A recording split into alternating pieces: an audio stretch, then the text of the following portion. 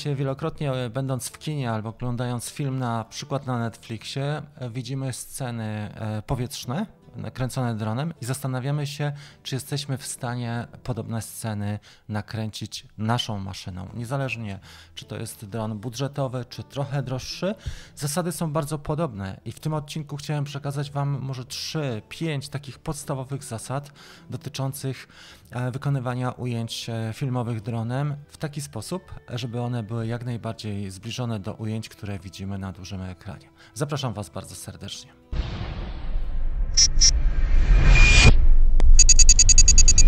Słuchajcie, jeżeli chodzi o czynniki, które wpływają na to, jak będą wyglądały nasze ujęcia, to mamy właściwie trzy główne tylko. To jest czynnik ludzki, czyli my, nasze umiejętności, doświadczenie, wiedza i umiejętność zapanowania nad e, kadrem.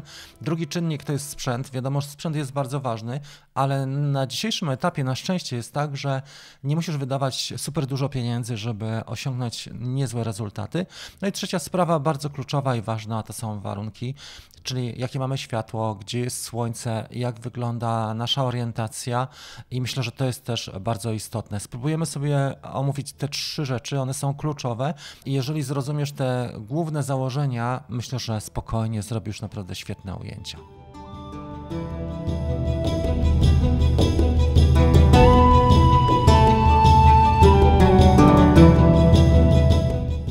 Słuchajcie, jeżeli chodzi o czynnik ludzki, ważnych jest parę rzeczy, a mianowicie umiejętność oceny sytuacji i warunków i też przygotowania się, czyli musisz się przygotować na warunki. Nawet jeżeli latasz na danej miejscówce, to nie znaczy, że e, ona będzie pewna zawsze. Musisz poczekać na fajne warunki, umieć ocenić światło, zobaczyć kiedy to światło jest nisko i jak się ustawić dronem w stosunku e, do światła. Nie robi się tego od razu i czynnik ludzki jest najważniejszy, bo on się nie dewaluuje. Sprzęt ci się może bardzo szybko zdewaluować, bo wydasz na niego kupę kasy, okaże się po, po dwóch latach, że nie jest wart nawet połowę, a jeżeli chodzi o Twoją umiejętność i świadomość, spokojnie dasz radę. Dobry fotograf, tak jak mówimy na teamie 250 gramów szczęścia przy okazji naszych sesji czwartkowych, dobry fotograf czy filmowiec jest w stanie już przewidzieć, jakie będzie miał efekty, gdy tylko zobaczy miejscówkę i mniej więcej wie, co osiągnie, jaki będzie efekt e, końcowy, więc czynnik ludzki jest ważny. Głównie to jest ocena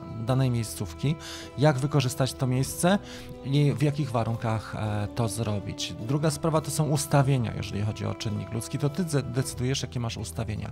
Jeżeli chodzi o shutter speed, czyli e, prędkość migawki, czy czas naświetlania, jest to ważne, żeby stosować filtry i tak dopasować e, właśnie prędkość migawki, żeby stanowił on, czy stanowiła ona dwukrotność klatkarzu. Dzięki temu możesz osiągnąć kapitalne efekty nagrywając obiekty w ruchu, takie, że obiekt jest ostry, twój główny obiekt, powiedzmy samochód czy główny bohater przemieszczający się w inny sposób, a reszta jest rozmyta pierwszy i drugi plan. Tak jakbyś robił panning, zdjęcie panningowe, ale masz to cały czas na ekranie i e, zwróć uwagę, że filmowcy posługują się tym bardzo często i faktycznie w wielu dobrych filmach ostatnio oglądanych przeze mnie, na przykład film Morderczynie na Netflixie czy Forst, tam widzieliśmy, że e, goście, którzy wykonywali ujęcia z powietrza stosowali zasadę 180 stopni, czyli czas naświetlania stanowi dwukrotność klatkarzu. Jeżeli chodzi o klatkarz, ważna sprawa, my jesteśmy w strefie PAL, czyli stosujemy 25, 50, 100 klatek.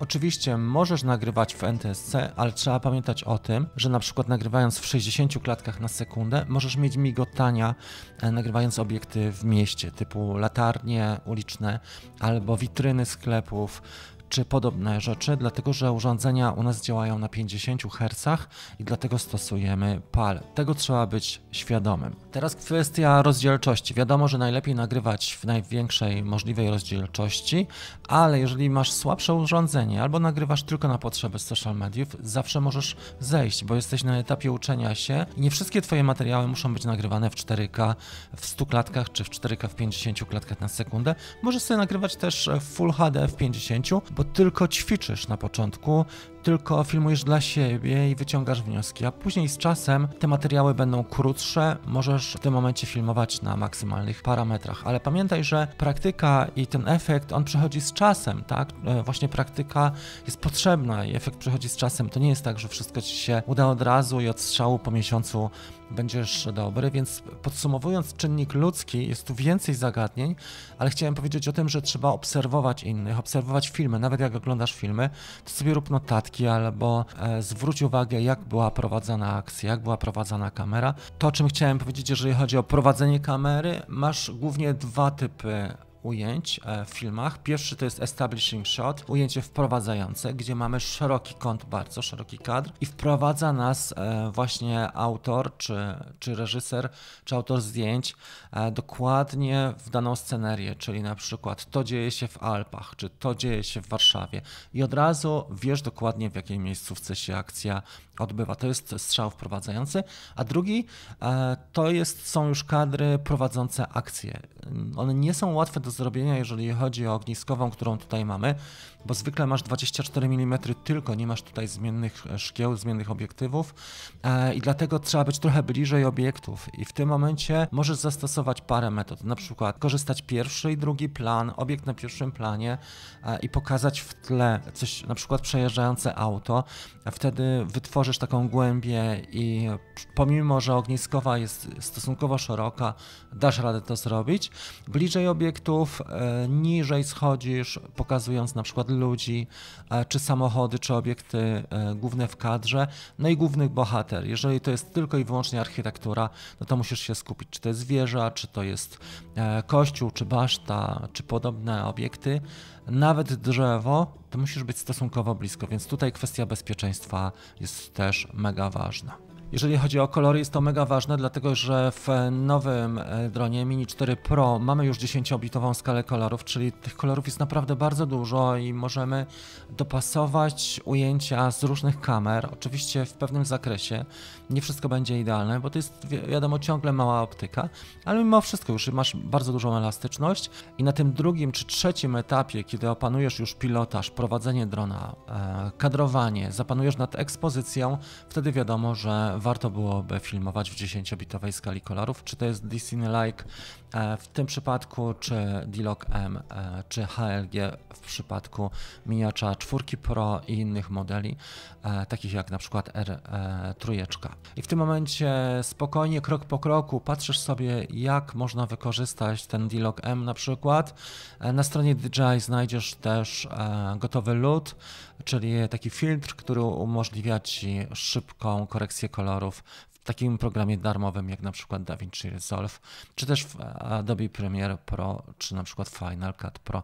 Jest to do zrobienia, ale to jest na drugim czy trzecim etapie. Na początku trzeba opanować pamięć ruchową, bezpieczne latanie, kadry, e, panowanie nad kadrem i oczywiście ekspozycję trzeba opanować, bo to jest też absolutna podstawa, żeby nie topić detali w cieniach, czy nie wchodzić za bardzo w highlighty, czy nie przepalać ujęć. Ja mówiłem wcześniej o ustawieniach. E, ważne jest to, żeby migawka była mniej więcej dopasowana. Jeżeli masz filtr około ND16 dla tych nowych modeli, one, to one mają jasne obiektywy. Tutaj jest e, przysłona 1.7 stała. Myślę, że w okolicach ND16 już na pewno nie zaszkodzi. W takie dni, nawet pochmurne jak mamy, ND8, ND16 i patrzysz sobie jak wygląda shutter speed, czyli e, twój czas naświetlania. Jeżeli masz mniej więcej około 1 setnej sekundy, 1 dwusetna, to już nie ma tragedii. Już na pewno będzie lepiej niż 1,4 tysięczna sekundy. Jeżeli mamy jaśniejsze e, oświetlenie, jaśniejsze dni i sezon e, wakacyjny lub też jesteśmy w tropikalnym miejscu, na przykład na Zanzibarze czy na Wyspach Kanaryjskich, w tym momencie na pewno trzeba też zastosować mocniejsze filterki, na przykład ND32. To samo dotyczy sytuacji, kiedy mocno świeci światło na śniegu i odbija się też właśnie, odbijają się promienie słoneczne od śniegu. W tym momencie też trzeba pomyśleć o tym, żeby zastosować filtr mocniejszy, na przykład ND32, a nawet 64. Na pewno przy ustawieniach jeszcze trzeba zwrócić uwagę na ISO. Jeżeli widzisz, że masz ujęcia wieczorne, na przykład niebieska godzina, czy złota godzina tuż przed zachodem słońca, możesz sobie odpuścić filtr albo zastosować słabszy i popatrz jak Ci się układa ISO, bo to jest też ważne, żeby zapanować nad ISO.